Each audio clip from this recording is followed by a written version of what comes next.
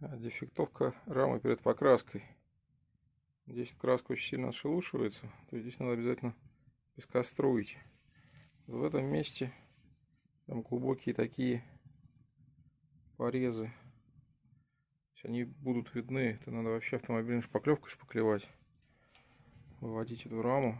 То есть даже если сейчас за и покрасить, все равно вот это место будет видно. Так. Здесь вот тоже прям протиры, протиры, протиры. То есть просто если покрасить, это будет вообще все волнисто. Надо пескоструить, но все равно тут вот эти ямки, где тросики и сумка были, будет это все заметно. Тут вот везде дефекты.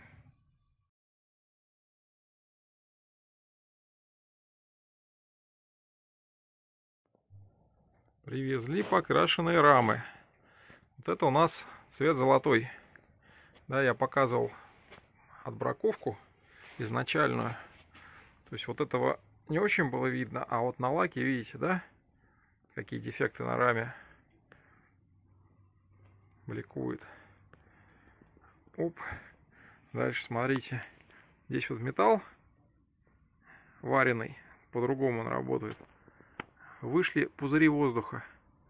То есть при запекании краски здесь вот возник вот такой дефект в этом месте. То есть пузырики воздуха.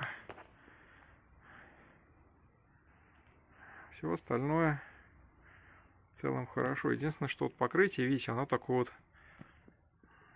как сказать, бликует очень сильно. Хоп. Хоп. Здесь все прокрасилось.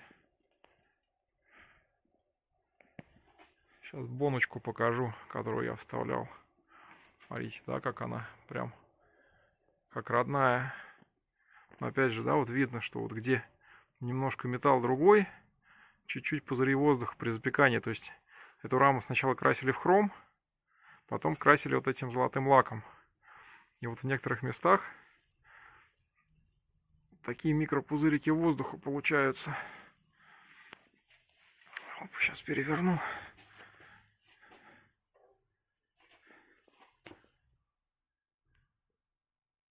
Вот, а здесь все идеально. никаких дефектов. Вот старая бонка, да?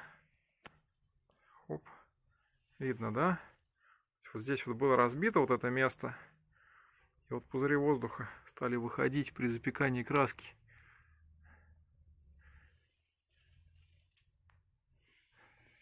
Везде, где металл ровный, везде все замечательно.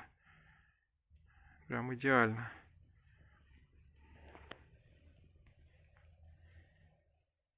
Ну вот в некоторых местах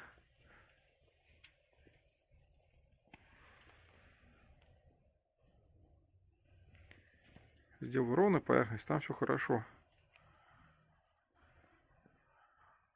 Вот. Но кое-где вот они такие вот пузырики воздуха выходят.